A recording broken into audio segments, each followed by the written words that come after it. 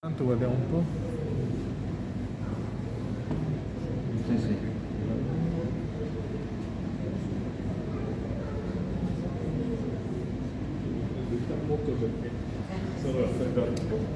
Prego Sergio. vai. Buongiorno a tutti, eh, grazie Claudio per questo invito. Eh, come anticipato parlerò del canale Nerino. Il canale Nerino, essendo stato in funzione fino al 1950, è oggi qualche cosa che ormai purtroppo pochi conoscono, ma che ha avuto un ruolo fondamentale nello sviluppo industriale della nostra città. Ehm, questa è la targa inaugurale, tra l'altro non si sa che fine abbia fatta purtroppo, eh, dove però viene riportato un dato molto importante, il costo di costruzione del canale, che ammontava a circa 200.000 lire dell'epoca. Oggi questo importo ricapitalizzato corrisponderebbe a circa 880.000 euro. Quindi pensate che investimento fece il comune di Terni in quegli anni anni in cui veniva realizzato anche Corso Tacido, quindi la città, anzi Terni, assumeva il volto di una città, perché non c'era neanche il corso principale. Ecco, dove si trovava all'inizio del canale Merino? L'inizio del canale Merino si trova nella zona eh, di, di Ventima, eh, dove zona, tutti conoscete molto bene. E questa fotografia eh, cartolina per meglio dire Alte Rocca ci dà la possibilità di cogliere veramente eh, quello che era l'inizio del canale, quindi l'opera di presa, la diga mobile, la casa di guardia e l'inizio del canale vero e proprio. Quindi lì partiva il canale Nerino. Come si vede sullo sfondo le acciaierie, come si vedevano eh, chiaramente in quell'epoca. Questo è il ponte Diga, che ancora oggi esiste, che faceva appunto da sbarramento eh, e lì c'era l'opera di captazione. La fotografia è di circa del 1930. Vedete le fotografie a colori, chiaramente non erano a colori, ma è possibile, ci sono dei, so- dei software, insomma, bisogna padroneggiare, grazie ai quali è possibile colorarle e in qualche modo attualizzarle, quindi hanno, assumono un fascino diverso. Questo è sempre il, il ponte Riga visto da un'altra angolazione in una fotografia del genio civile di Terni, si trova lì. La portata iniziale era di 22 metri cubi, poi nel 1904 fu portata a 35 metri cubi. Questo è proprio il tratto del canale eh, parallelo alla strada sotto la collina di Pentima. Come vedete non c'era l'Ancifap, non c'era, c'era nulla assolutamente, solo, solo la collina. Eh, dopo, circa, dopo poche centinaia di metri fu realizzato uno scarico, qui si vede benissimo, in grado di smaltire 20 metri cubi di acqua. La domenica il canale veniva messo in asciutta, eh, come sapete che perlomeno di, di, Terni sa che il velino trasporta molte sostanze in sospensione, molte ghiaie, quindi la domenica le aziende non, non potevano lavorare e venivano fatte tutte le operazioni di pulitura delle ghiaie. Questa è un'altra bella, bella fotografia, si vede il bacino di arrivo che distribuiva le acque e poi le aziende che utilizzavano il canale per produrre l'energia, tra le quali annoveriamo l'edificio Centolini e la fabbrica d'armi. Qui dove oggi c'è tutta l'area eh, ex Terminos, ma comunque a c'è speciali Terni, c'erano le fornaci in cui venivano costruiti i refrattari per le acciaierie. Ecco, qui si vede molto bene il bacino di distribuzione, una delle due centrali idroelettriche dell'edificio Centurini, questi capannoni sono quelli dell'edificio Centurini, eh, ormai non esiste più perché è stato demolito a metà degli anni 90 per far posto a nulla, quindi abbiamo perso anche quello e qui c'è poi la, la fabbrica d'armi e si vede anche parte dello stadio di Viale Brin, anche quello ormai poco purtroppo ne rimane. La fotografia è del 1918. Qui eh, invece abbiamo una vista molto ravvicinata del bacino partitore. Il bacino partitore, come dice il nome, aveva il compito di smistare l'acqua verso le varie aziende, verso le varie utenze. Quindi da lì partivano tutta una serie di canali. Ecco, qual era la potenzialità del canale. Nerino? Allora, il canale era dimensionato per 40 metri cubi d'acqua, che considerato quando è stato costruito non erano certo pochi. Veniva sfruttato per 35 metri cubi e queste erano le aziende che lo utilizzavano, quindi la fabbrica d'armi di Terni, la fonderia, la fonderia Rukovic che non esiste più, si trovava nei pressi della stazione ed è stata completamente distrutta durante la seconda guerra mondiale, la centrale di San Martino che si trovava dietro a quello oggi che è il Residence Bizzoni che all'epoca era una falegnameria molto affermata a livello nazionale. Lo edificio Centurini aveva due centrali idroelettriche, eh, aveva, aveva anche il lanificio Gruber, del quale purtroppo rimane molto poco perché anch'esso è stato distrutto per il 60% durante la seconda guerra mondiale, poi c'è stata costruita la nuova questura e quindi capite che si è quello che rimane, ma quello che rimane come vedremo è molto importante. E poi c'era la cosiddetta centrale Erlikon, che è stata una delle prime centrali idroelettriche d'Italia. E Terni è stata una delle prime città ad avere l'illuminazione pubblica nelle strade, quindi è quasi un primato. Dopo Milano, che tra l'altro utilizzava il carbone, non ci dimentichiamo che a Terni anche acciaierie utilizzavano l'acqua. Tutta l'Europa andava a carbone, noi utilizzavamo l'acqua. Questo era un primato, tutte le industrie in qualche modo eh, utilizzavano energie rinnovabili. Le potenze, come vedete, non sono chiaramente elevatissime, ma vanno sempre commisurate con i tempi. Ecco, oggi farebbero, fanno quasi sorridere, diciamo siamo quasi nel campo, non dico del mini idroelettrico, pochino più in su. Questo è un bellissimo disegno dell'epoca, si vede benissimo lo sviluppo del canale, il bacino partitore e poi con una precisione nei disegni tipica dell'epoca le varie ramificazioni con tanto di metri cubi eh, spettanti riportati. Questa è una planimetria tratta dal libro di Guido Berri, che era ingegnere del consorzio di bonifica, ha scritto un'opera fondamentale si intitola Le acque di Terni, dedicata appunto alle acque terni che è fondamentale per chiunque voglia studiare le acque. Eh, è un libro dal quale bisogna, non si può prescindere. E qui si vede, vedono ancora meglio le varie centrali, la fabbrica d'armi, lanificio e questa più in fondo è la centrale Erlikon. Con tutti i buoni canali di scarico, il Berkeley era di una, di una precisione e di un dettaglio eccezionale. Questa bellissima fotografia della centrale esterna dell'edificio Centurini con il suo sfioratore. Di questo impianto rimane solo puro perimetrale, praticamente non esiste più nulla.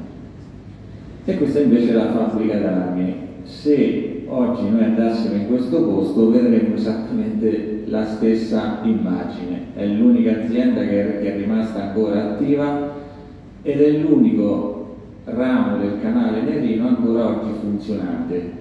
Chiaramente l'acqua non viene più derivata come in passato, ma viene eh, captata dallo scarico della centrale del Sezimone, che è un piccolo gruppo idroelettrico eh, realizzato negli anni 90 all'interno della centrale di Cervara. La fabbrica d'armi usa 200 litri d'acqua perché ancora ne, ne ha bisogno, ma ripeto è l'unico tratto ancora in vita. Eh, tra l'altro quando è stata costruita la fabbrica d'armi non c'era ancora una vera e propria centrale idroelettrica, c'erano delle paratoie, qui fortunatamente si vede benissimo, che alimentavano direttamente per caduta queste turbine primitive. Ecco, poi la fabbrica d'armi si è dotata di una centrale idroelettrica, di cui vediamo la sala macchine, distrutta anch'essa durante la seconda guerra mondiale e non più ricostruita. Eh, la centrale eh, per farvi capire dove si trovava la prima centrale idroelettrica di Terni, ecco, vedete, eh, riconoscerete senz'altro, questo è il viale Campo Fredoso, eh, dove c'è questo muro, oltre ad esserci una zona ricca di mulini, qui c'era anche la prima centrale idroelettrica di Terni. Poi quest'area è stata destinata all'uso abitativo, quindi si è totalmente perso traccia di tutto. Questo era l'interno della prima centrale idroelettrica di Terni ed è una, anche questa una cartolina alterocca del 1900.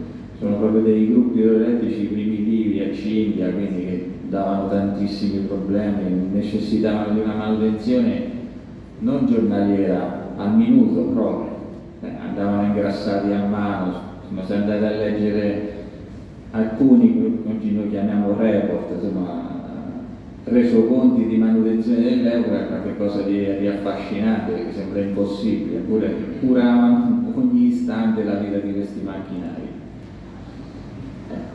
Questa è una, una foto aerea dell'Eura, guardate le dimensioni dell'anificio Gruber, questi capannoni a shed costruiti secondo il modello inglese non esiste più nulla, la parte che, che è diciamo, conservata è questa qui. E c'era il canale Rino finiva qui, eh, c'è un bastione che ancora oggi esiste, poi alimentava, alimentava la centrale dell'anificio e la centrale era lì come vedete questo è Viale Capo Fregoso, si trovava esattamente qui.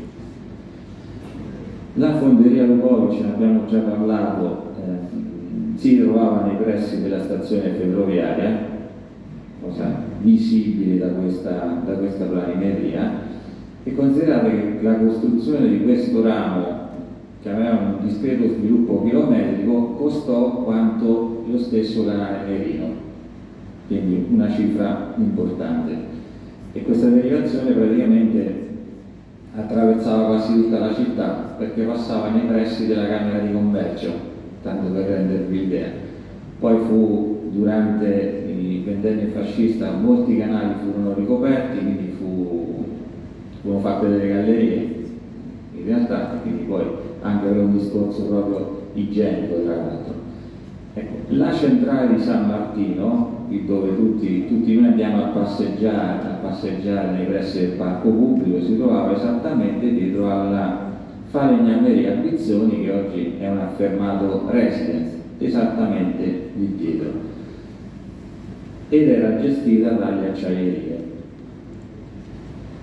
Cosa rimane oggi di quest'opera straordinaria? Rimane eh, la diga, la diga mobile, diga a cavalletti, la parte sottostante si apriva o chiudeva in base alle esigenze. Ecco, quando era aperta chiaramente faceva defluire le acque. Quindi qui si vede chiaramente il nera, il canale iniziava esattamente qui. Fino ad alcuni anni fa eh, molte opere, c'era il bacino di Gamma, ancora erano conservate, poi per effettuare i lavori alla rete metanifera è stata creata una strada che il bacino di Gamma non esiste, non esiste più, è andato, è andato perduto.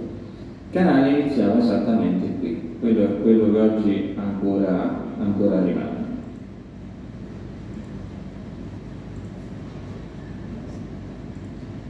Questo è lo scarico all'interno del torrente Serra, quindi qui tutta l'acqua, qui il canale Nerino finiva qui, ecco, dall'anificio direttamente qui.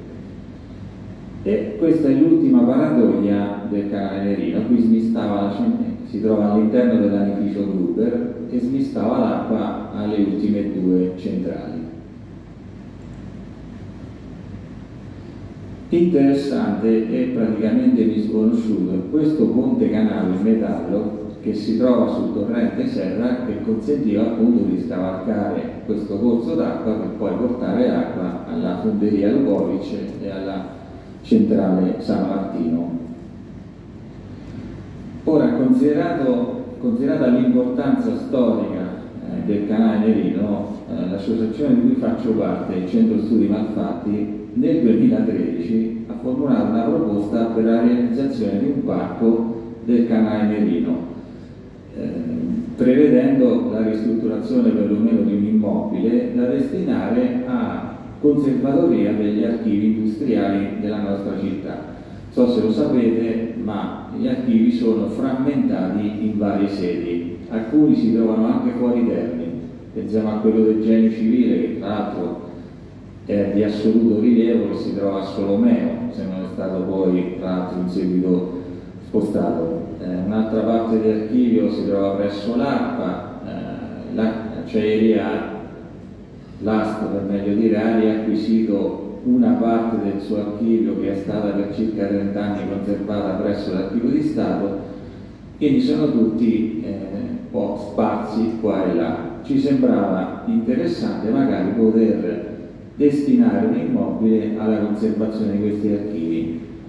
E dal momento che si parla del Museo delle Armi con 4 o 5 inaugurazioni fittizie che sono state fatte nel corso degli anni, della ciclo pedonale che dovrebbe appunto costeggiare il fiume Nera e del fatto che insomma, si potrebbe creare un asse molto interessante, creare un parco e un museo e una conservatoria degli archivi, lì ci sembrava un'idea molto interessante. Se non che pare che quest'area venga destinata al sociale. Ora, nulla contro il sociale, ci mancherebbe, ma visto che in città ci sono molti immobili posti in vendita da, possiamo dire, ormai decenni e che probabilmente non verranno mai venduti, quindi magari potrebbero essere usati per il sociale, e visto che quest'area ha una peculiarità così interessante, per una volta tanto fare un'operazione di recupero della nostra storia. Ecco, questa è una delle ultime occasioni che ci rimangono. Auspicherei che non si segua lo stesso cliché che è stato seguito per la Siri, insomma le cose sono andate in modo ben diverso. Ecco, tutta questa storia mi sono divertito a raccontarla alcuni anni fa nel mio libro L'acqua motore dell'industria e colgo l'occasione dal momento che con mia grande soddisfazione il libro è esaurito perché è stato venduto, sono state vendute tutte le copie, ho pensato bene di realizzare l'ebook che ho lanciato in questi giorni, quindi chi fosse interessato potrà approfondire la storia del canale Nerino e non solo su, grazie all'ebook. Vi ringrazio per l'attenzione.